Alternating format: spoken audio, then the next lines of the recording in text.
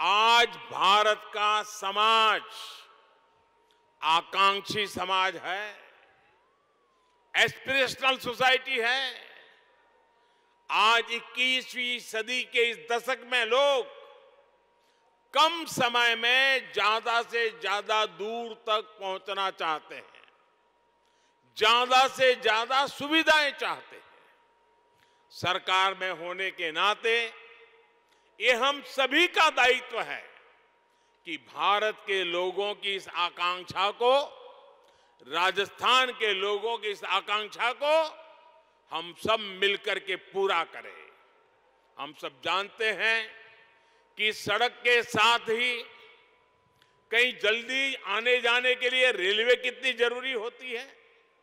आज भी गरीब या मध्यम वर्ग को सपरिवार कहीं जाना है तो उसकी पहली पसंद रेल ही होती है।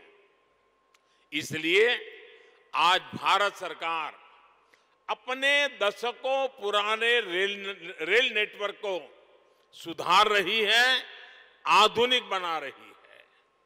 आधुनिक ट्रेनें हो, आधुनिक रेलवे स्टेशन हो, आधुनिक रेलवे ट्रैक्स हो, हम हर स्तर पर एक साथ चारों दिशाओं में काम कर रहे हैं।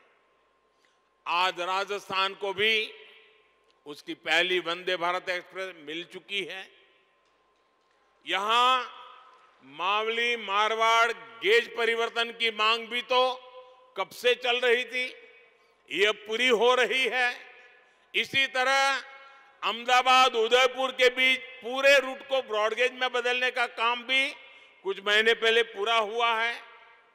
इस नए रूट पर जो ट्रेन चल रही है, उसका बहुत लाभ उदयपुर और आसपास के लोगों को हो रहा है। साथियों, पूरे रेल नेटवर्क को मानव रहित फाटकों से मुक्त करने के बाद हम अब तेज़ी से पूरे नेटवर्क का बिजलीकरण कर रहे हैं। हम उदयपुर रेलवे स्टेशन की तरह ही देश के सैकड़ों रेलवे स्टेशनों को आधुनिक बना रहे हैं। उनकी कैपेसिटी बढ़ा रहे हैं। और इन सबके साथ ही हम मालगाड़ियों के लिए special track dedicated freight corridor बना रहे हैं। साथियों, पिछले नौ वर्षों में राजस्थान का रेल बजट भी 2014 की तुलना में 14 गुना बढ़ा है। बीते नौ वर्षों में राजस्थान के लगभग 75 प्रतिशत रेल नेटवर्क का बिजलीकरण किया जा चुका है। यहाँ गेज परिवर्तन और दोहरीकरण का बहुत बड़ा लाभ डूंगरपुर, उदयपुर, चित्तौड़, पाली, सिरोही और राजसमंद जैसे जिलों को मिला है। वो दिन दूर नहीं जब राजस्थान भी रेल लाइनों के शत प्रतिशत बिजलीकरण वाले राज्यों में शामिल हो जाएगा